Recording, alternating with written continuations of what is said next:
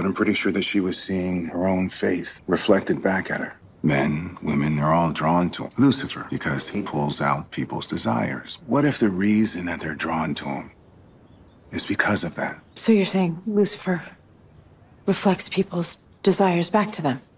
Which would mean You're the only mortal who sees him for who he truly is. everything I was afraid was a manipulation. Is as real as it gets.